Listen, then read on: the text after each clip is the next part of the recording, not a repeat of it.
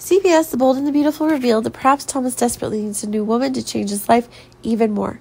Thomas is a single man for a long time. Perhaps that loneliness is also part of the reason why Thomas often has false thoughts. Rather, Thomas is a handsome, talented, and even the brightest heir to Forrester creation. Thomas is very rich, so it will definitely be a bright target for women. Among the singles, Paris is a pretty suitable girl for Thomas.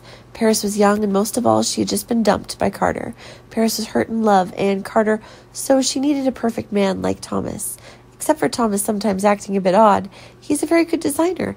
Thomas's designs are always trendy and loved by many people. Paris also works at Forrester Creation, and she really admires Thomas's talent. In the past, Thomas used to like Paris and confessed to her very seriously.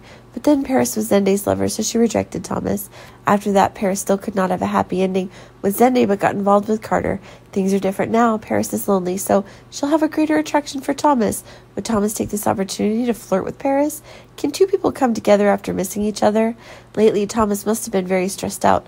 Although his behavior wasn't too serious, he let everyone down and turned against him. Thomas tried to build an image for himself, but in the end, it all fell apart. Now Thomas desperately needs someone by his side to share this difficulty. Paris will be a very suitable person to listen to Thomas's confidants. He told Paris that he just wanted his parents back together, so he harmed and divided Brooke's marriage. Paris understood Thomas's feelings. That helped him feel a lot more relieved. After spending time talking to each other, Thomas and Paris are gradually getting closer. Meanwhile, Grace once again wants to interfere in Paris's love affairs. In short, Grace felt that Paris's choices were never correct. Like this time, Thomas and Carter were no different. Both of these men abandoned Zoe at the wedding. Carter treated Paris the same way she did Zoe, so Thomas was no exception. Grace doesn't understand why Paris has so many options, but wants to date Thomas.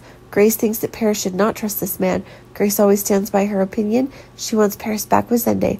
Only a faithful and kind man like Zende can bring happiness to Paris.